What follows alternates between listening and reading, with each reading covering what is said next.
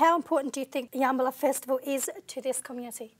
Oh, very important, very important. I mean, you know, Port Augusta, you know, it's crossroads of, of Australia, uh, you know, it's crossroads and people got to pass through here to get through, you know, wherever. And, um, you know, there's a lot of development going up around the place, but, you know, don't really see much for, for Aboriginal people, you know, and, and whether that be by way of, you know, tourism or cultural, you know, cultural stuff. And so I think it's very important that for this community that has these, has these things and, you know, bring community together and bring the young ones together and give them something to do and, um, you know, let, let them, let the community see that there is, you know, other blackfellas out there doing, you know, doing stuff and whether it be dancing, singing, comedy or whatever, you know, that um, I think it's a very positive for the, for the community.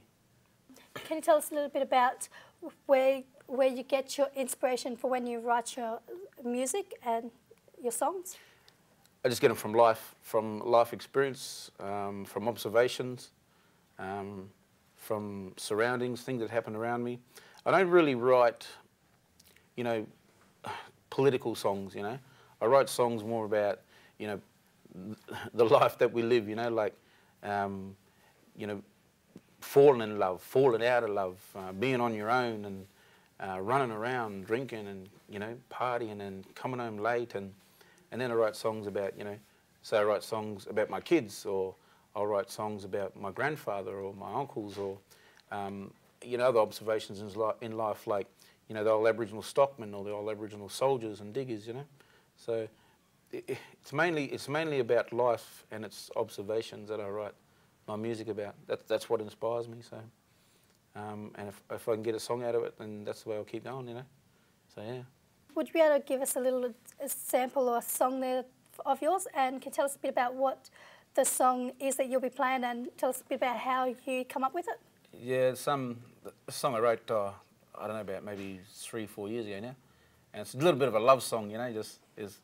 Um, yeah, I don't know, like, it's hard to say how, how I write my songs, but I just sort of sit there with the guitar and play tunes and throw words here and there, and it's like a jigsaw puzzle, you know, it just seems to fall into place after a while, and um, you get a topic for it and you get a theme for it, and um, yeah, it's just a little one I wrote called um, I'm High in Love, so um, this is a popular one for people when they get married, you know, they want me to come and play this, so yeah.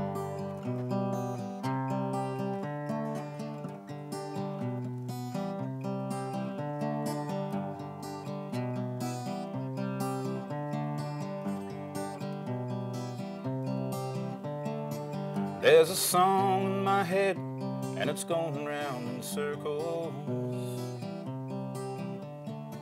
Trying to find the right words and write it for you.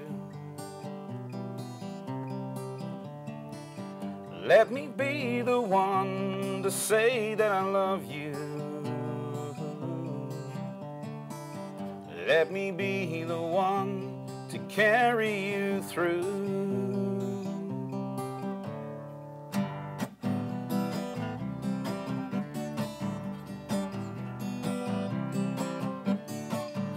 I know that maybe I'm not your first kiss.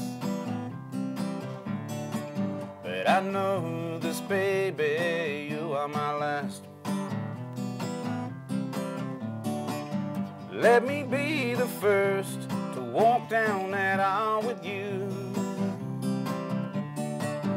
Let me be the first to tell you I do There's a song in my heart and it's singing. And I can hear those church bells ringing when I'm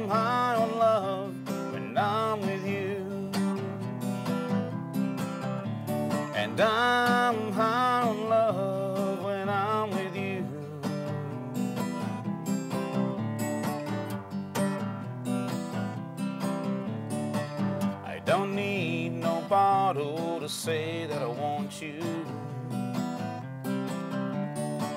I don't need nobody to tell me I'm wrong.